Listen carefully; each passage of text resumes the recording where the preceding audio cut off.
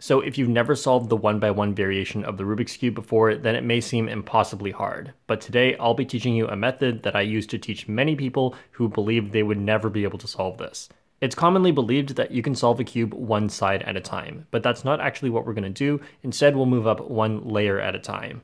The first step is to make the bottom layer. Now, if you're color neutral, that means you can start on any color. So if green's already at the bottom, then that's great, and I'll just start with this. But if you're just starting out, just to make it consistent, it's easier to learn on the same color. So we're gonna go with white as the first layer color, and we want white to go onto the bottom. If white is on the top, what you can do is just turn the cube over and have it at the bottom, and that's actually okay. But if white is on the sides, then you actually can't just do that rotation because you'll run into parity, and the rest of the cube will be unsolvable.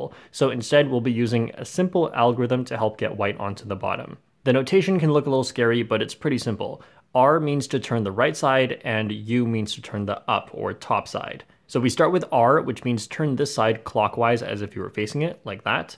And then U means to turn the top clockwise. So if you faced it, it clockwise would be like this. And then the apostrophe or prime means counterclockwise. So R prime is to turn this side counterclockwise. And then U prime is like this. You just want to repeat that once or twice until white is on the bottom. However, if the white started at the back or on the left, then you just want to do a 180 degree turn to get it to either the front or the right. And then you can just repeat until it goes to the bottom.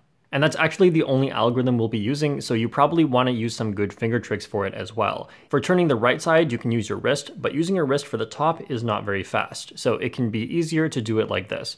Right side with your wrist, and then turn the top with your index finger and then down and the top with your other index finger. So you can just practice this a bit until you're faster at it and that'll make the rest of it a lot easier and you won't have to think as much. This method is actually really similar to the 3x3 beginner method. So once you get white onto the bottom, we've actually finished the white layer. What we normally do next is move on to the second layer, but since it's a one by one, obviously there is no second layer. So what we can do is then move straight to the last layer. In this case, the last layer color is yellow, and normally there are a lot of steps here, but since it's a one by one, it's actually a lot simpler. There are no edge pieces, and the corner piece is already in the correct spot, obviously because there's only one spot. So we can just skip straight to the last step where we turn the cube upside down and try to get yellow onto the bottom. Now, very often yellow will already be at the bottom, but if it is not, then you can just repeat that algorithm from the start to try and get yellow onto the bottom. So here I'll do it once, and then here it is on the side, so I'll have to do it again.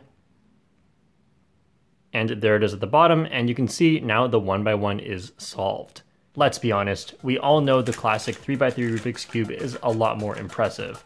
I also have a tutorial for that, but it takes a lot more practice and advanced techniques to become very good at it. However, the 1x1 can be a good entry point to speed cubing because it's much simpler to learn.